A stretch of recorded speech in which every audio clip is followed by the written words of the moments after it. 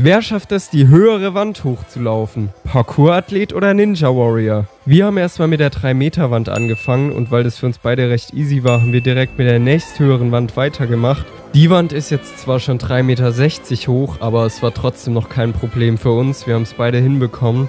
Für das nächste Level mussten wir diesen Kasten drauf stapeln, aber auch damit war es noch keine große Schwierigkeit für mich, auch nicht für Adrian, wie sich hier unschwer erkennen lässt.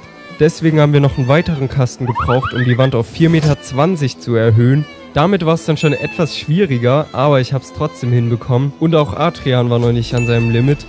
Jetzt ist die Wand einfach schon das zweieinhalbfache meiner Körpergröße. Deswegen wurde es auch langsam echt grenzwertig. Wir haben es beide nicht beim ersten Versuch geschafft, aber letztendlich haben wir es trotzdem noch irgendwie hinbekommen, da hochzukommen. Beim nächsten Level war es dann tatsächlich für mich, aber auch für Adrian vorbei. Wie hoch wärt ihr gekommen?